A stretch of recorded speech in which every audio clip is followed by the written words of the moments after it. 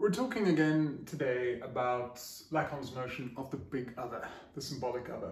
And uh, this is the third installment of a series of mini lectures on that topic, and I've given it the title of The Other Scene. In doing so, I'm hoping that we can put in place some links to the work of Freud. Just to connect where we left off last time, I'd emphasized this idea, Lacan formulates things in these terms, that when we're thinking about this notion of the big other, the functions of the big other, we should bear in mind the idea of a second degree of otherness. The second degree of otherness is one of Lacan's ways of trying to suggest that the other, the big symbolic other, is not simply the specular image, the mirror image, our imaginary counterparts, the little others, other people that we come into contact with every day. He's trying to suggest that we're dealing with a second power of otherness, a greater degree of alterity and otherness. And one way of trying to emphasize that is his move to say that the big other can be thought of as language itself, as the treasury of the signifier, kind of collect, uh, collectivity of words, of linguistic norms, of uh, signifiers. Now, the more we do that, the more we emphasize this notion of the symbolic other as language in and of itself, you could say that it feels like Lacan is doing a kind of linguistic thing. It seems that he's moving away from Freud in some respects. And I just want to take a few moments to suggest that that is not necessarily the case. If we're going to suggest that the symbolic other is the uh, battery of signifiers, the treasury of signifiers, the collection of words, that also helps us reiterate an idea that we spoke about last time, and that is the notion of the mother tongue. The mother tongue, little m, big O, wants to suggest that every time we speak, the big other has an opportunity to speak through us. What other voice speaks within mine? This is a question that I've uh, sketched up on the board just as a kind of clinical question to bear in mind when one is doing psychoanalytical work. What voice is, what other voice is being spoken through the analysand's voice? And I suppose we could ask the question about ourselves as well. Every time I speak, what other voice, what other meaning, what other implication is being mobilized by my speech?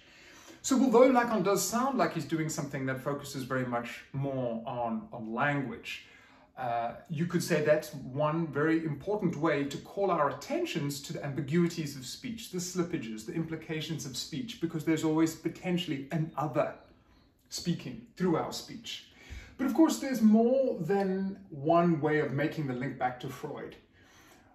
Lacan is going to go on to suggest a number of different ideas, some maxims, some uh, formulas for thinking about the unconscious.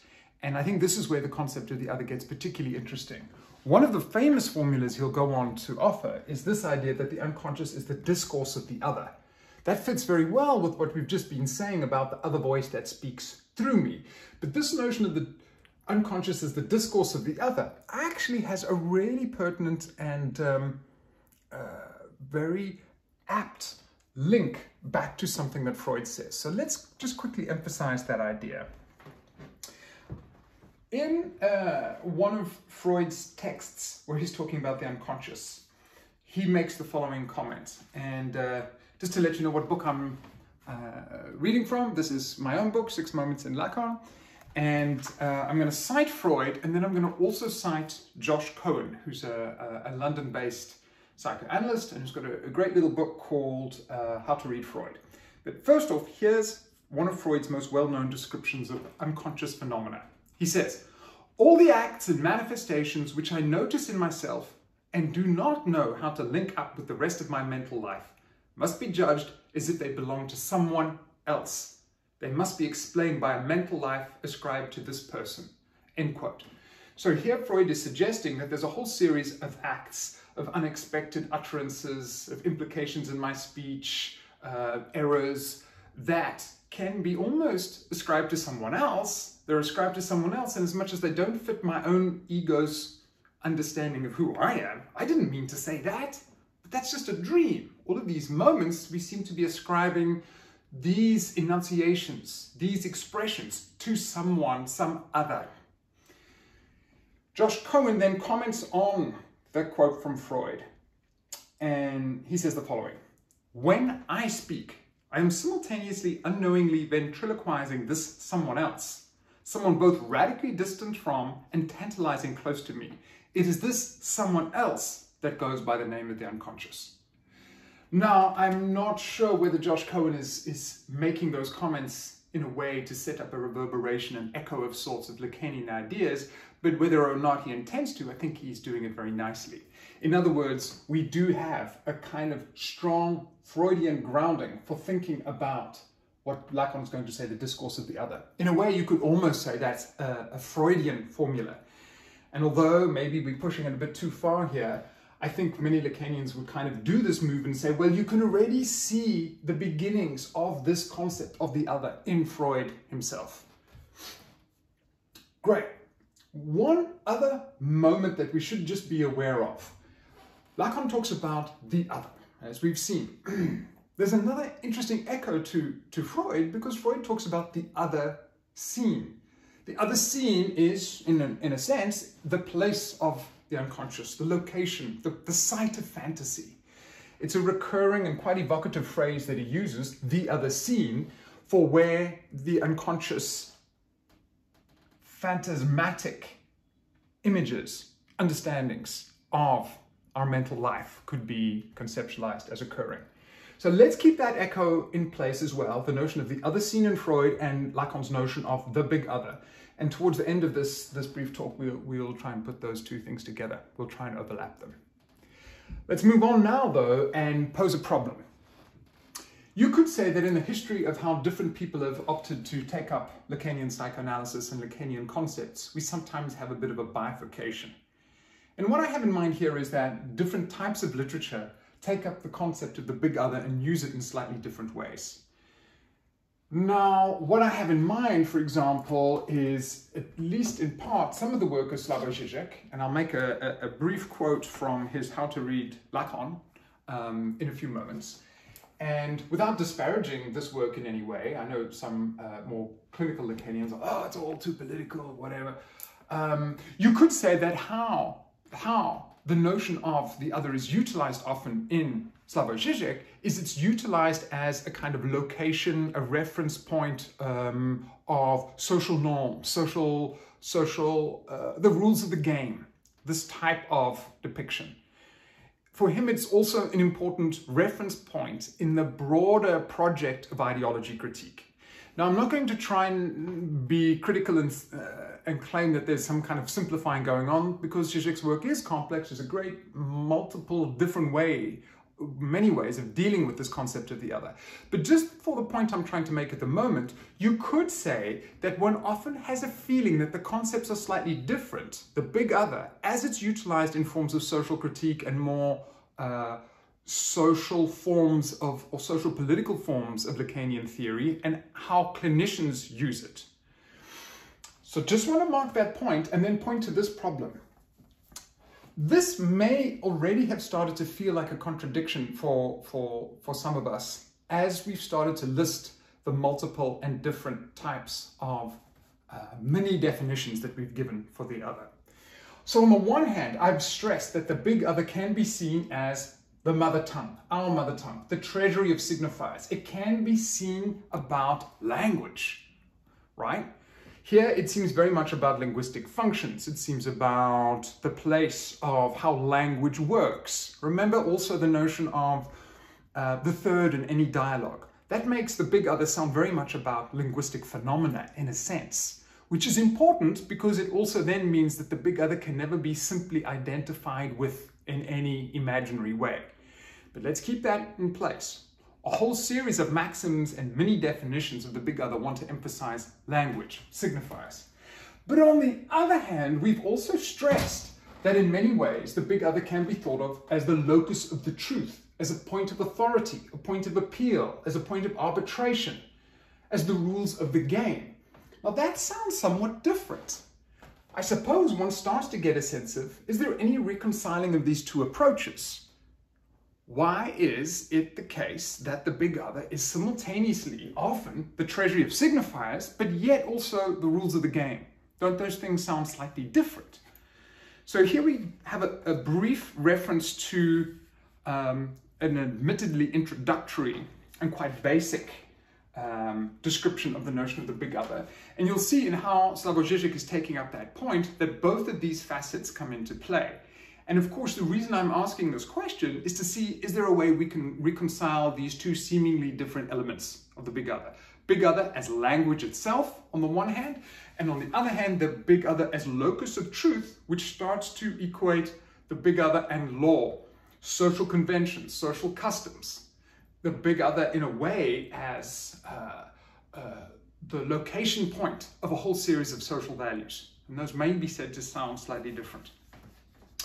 So this is um, in the first chapter uh, of, of Žižek's How to Read Lacan. He says, the symbolic order is society's unwritten constitution, is the second nature to every speaking being. Uh, these are ideas that I was trying to uh, allude to in, in, previous sessions when I was speaking about Robert Redford getting lost at sea in the movie All Is Lost. In other words, that the, the symbolic order of language is far much more a part of our private, uh, individual, isolated thoughts and, and, than we may imagine. Back to Zizek. The bigger other operates at a symbolic level. When we speak, or listen for that matter, we never merely interact with others, our speech activity is grounded on our accepting and relying on a complex network of rules and other kinds of presuppositions. Firstly, there are grammatical rules. Then there is the background of participating in the same life world that enables me and my partner in conversation to understand each other. He continues, the symbolic space acts like a yardstick against which I can measure myself. This is why the big other can be personified or reified in a single agent the God who watches over me from beyond, or the cause that involves me, freedom, communism, nation, and for which I am ready to give my life. While talking, I am never merely a small other, an individual, interacting with other small others, the big other must always be there. So there's a whole series of points we should stress there. Number one, that whenever there's speech, whenever there's interaction, whenever there's thought, whenever there's linguistic thought, the big other is there. Okay, so the big other is not something one can kind of separate oneself from, in as much as one is a speaking being. The other question that seems to, to emerge here, or the other observation that seems to be important, is that to speak, in as much as to speak implies a set of grammatical rules, means that there's some kind of social convention, some kind of agreed rules for how to use speech and how to interact. In as much that is true, then whenever we speak in a way that is publicly intelligible, we are reiterating and reinstantiating the big other. So there's no singular I, you could say, in Lacan. Whenever there is a speaking subject, there is always an other. So I, singular subjectivity is never divorced from the big other. Whenever we speak, whenever we utter something, we bring about an other. And other there starts to become the kind of common denominator that makes communication possible. And I suppose this is how I'm trying to get around this apparent opposition between or contradiction between these two approaches. Whenever there is language or symbolic convention, there are rules. And if we have rules, then we simultaneously have a position of the speaking subject which brings about a big other. Speaking, speech is itself the condition of the other. And when the big other is there, we as human subjects tend to want to personify it. Or, as I've noted here, we tend to want to imaginarize it. And here we have a nice example of us being able to use some Lacanian concepts from the earlier sessions to try and understand something. So let's reframe that one more time. The symbolic activity of using speech necessitates rules. It necessitates rules, therefore, to speak, to have a communicative interaction implies the presence of a big other. But given that we're dealing with human beings and humans who have a psychical life, by the time there is a locus of rules, there is a locus of uh, what is right and what is wrong, we tend to institutionalize and imaginarize that. We like to give a face to that set of rules. We personify it. That's why I think Zizek is being quite useful here when he says, well, it's almost as if uh, when there is the possibility of a big other, and we know to speak, to use language at all, is to bring about the possibility of the big other, that big other starts to be personified, typically in the instance of a god, an authority. Uh, and I've given a bunch of examples here. First example, you could say that by virtue of speech, you have an authority, you have the grammatical rules, which then leads to the personification of those rules and the personification of them in a sense of a place of expertise, a place of authority, a place of truth. You could say then that human subjects almost have an instantaneous gravitation towards instituting an other, towards instituting a position like that of God. You could make that argument. And we can now think of a whole series of interesting little empirical examples of that. The one I think uh, to start at the end here is that I'm thinking of a whole series of television shows in American popular culture from the West Wing to this valorization of the presidency. That there's some fascination we have for the leader, the position, the persona who gravitates to that position of the other in that political system. Doesn't mean, of course, we don't have lots of fights about that, lots of uh, antagonism towards it, but it seems that we have this allure, or that position has some kind of allure to us, and that we spend a lot of time. This is also a key point. It's not just that the other exists in some kind of objective form, as always existing, it's that we play our part in the supposition that another exists, and in populating, projecting values and ideas onto this other. Which leads me to this example here, mind the gap. If any of you have ever traveled on the London Underground, you'll be familiar with this, this kind of mindless uh, mantra, which is often replayed when you're about to get onto the train. Mind the gap, mind the gap. So there's this voice and it's basically telling you to watch out. There's a gap between the train and the, and the, and the platform and it goes mind the gap. And some British artist, I think it was, decided to do this series of interviews with a whole series of people riding the train. And she said to them, I think it was a she, what comes to mind when you hear this mind the gap? What is the what does this person look like? And um, if I'm getting this right, what she then did was she got them to try and describe what they thought this person was like, their imagination of the mind the gap guy, and she does like a little identity kit, like when you go to the police and you say, oh, I saw this criminal doing this, and they say, describe him, and then you have an artist and they draw the whole thing. So they came up with an imaginarization of the mind the gap guy. Love that. Great, great artistic project. But I think it's a nice illustration of the fact that when we have the big other, which at moments in Lacan is simply a function of language. It's simply a function of language. It's not a psychological entity. It's simply a function of the symbolic system. But the crucial caveat, as soon as we have that function in the symbolic system, human beings are going to want to personify it, give it a face, to imaginarize it.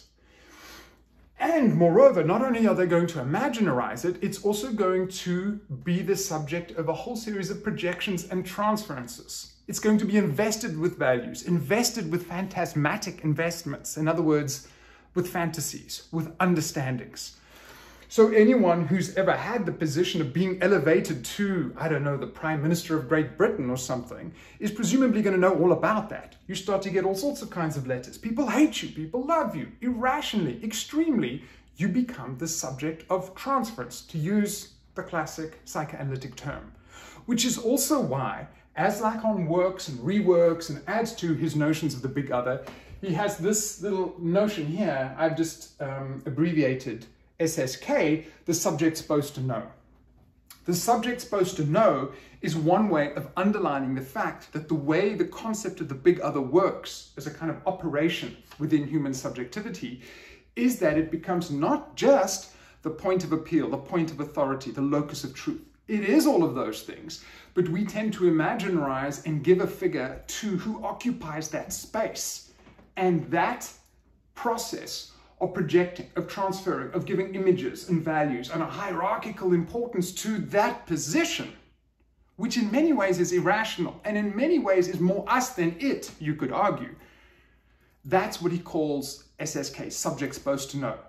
And the subject supposed to know is formula he uses to understand the notion of transference. And just to back up a little bit, transference is the phenomena which Freud is, is struck by in the earlier days of psychoanalysis when he starts to realize that his patients, his analysands, are treating him or loving him, maybe even hating him, having irrational, extreme responses where they seem to transfer an earlier important childhood relationship onto the relationship he's having with them.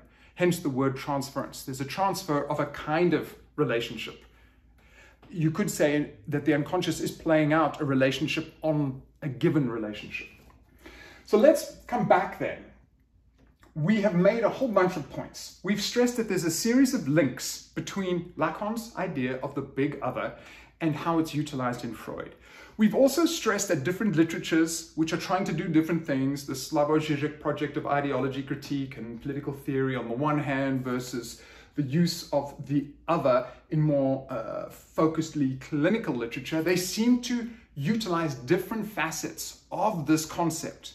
I've tried to argue that you can see how they come together.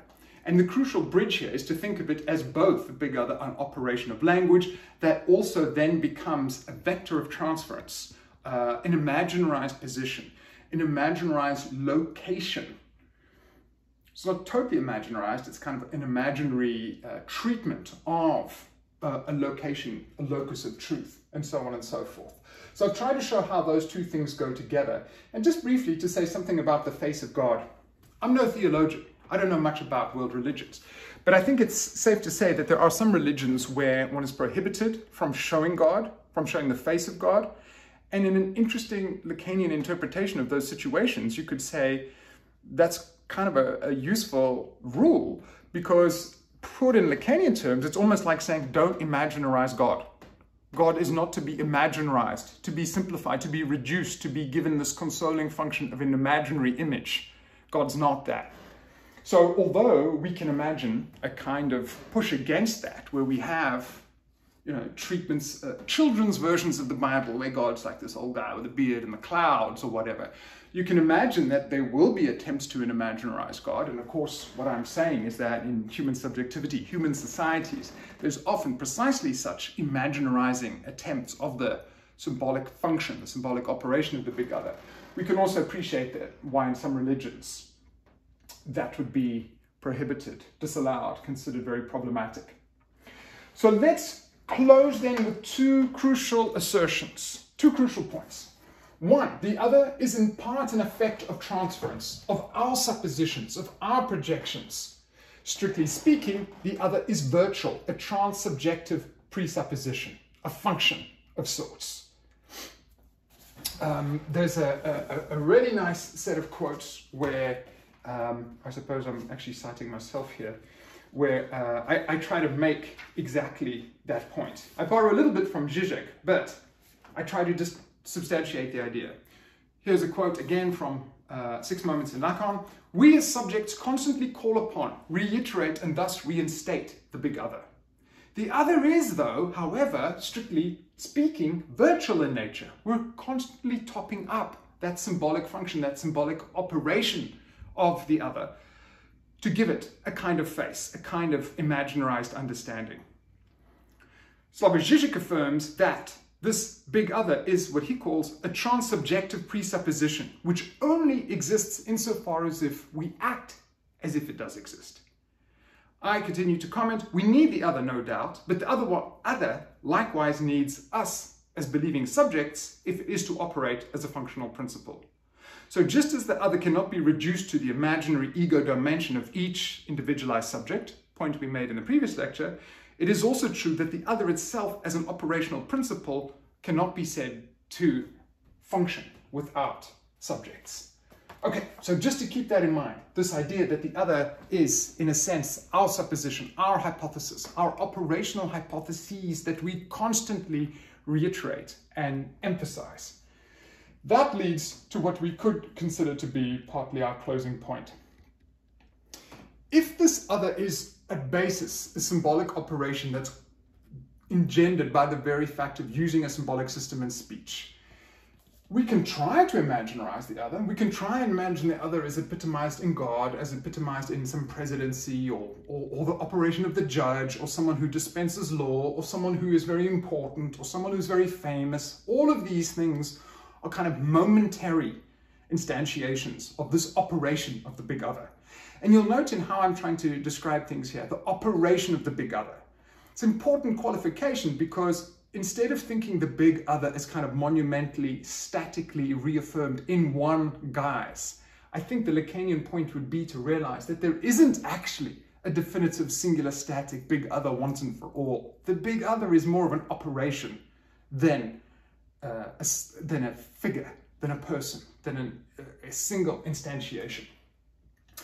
Having said that, we can then say also that we're constantly trying to put a face on, constantly trying to get our coordinates. What does, who is this other? Who's the other in this given social situation? In other words, what are the governing coordinates of importance, of value, of meaning?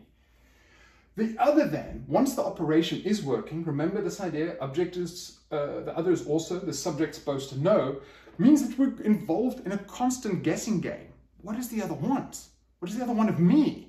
What's important here and now? What do other people seem to want? Other people, perhaps a whole community, and perhaps a whole community can at some instances take on this function of what the big other wants. Imagine stepping out into, onto a stage and you've got a thousand, ten thousand people looking in front of you. That would be one way of instantiating this nervous, anxious operation whereby one starts to question, what does the other want? How do I keep them happy? What, what should I be saying to get some kind of positive response? So to cut a long story short, and this is what we'll start in the subsequent lecture, what does the other want? This is a kind of primal question. It's a question of how I might locate myself relative to what I think the other of this social situation wants, what they may want of me, and how I might gain some value, how I might be recognized in terms of this other and what the other wants. So I noted right at the beginning that there are moments in Freud when he talks about the other scene. The other scene is a kind of location, a place, a fantasy. And when Freud is speaking like that, it often sounds like the place of fantasy is an image, a scene, something that one can observe, a tableau. But what we start to get a sense of here is when Lacan starts to reformulate some of these ideas. And for him, you could say the elementary question of fantasy, the elementary question of fantasy that drives our motivational energies, that keeps us engaged with the social domain and keeps us guessing about who we should be and how we should be and what we should want, is that question, what does the other want? So in a kind of neat way, having posed that echo of otherness, the other scene in Freud, and the big other in Lacan, we can now see how Lacan's many different formulas of responding to the other, what the other is, the inscrutable other who's never simply easily uh, encapsulated, who I can never be sure of exactly what they want, that becomes the basis of a whole series of questioning. Maybe sometimes partially conscious, maybe sometimes we're aware of it, but presumably a great deal of those questions are not fully conscious. And that trajectory, that constant reiteration of what does the other want? What does the other want of me? What does the other desire? That stream of questions and how I try to come up with answers to the questions, that itself gives us an introduction to what we could call a basic Lacanian theory of fantasy. My fantasies emerge in response to the question of what the other wants and what the other wants of me.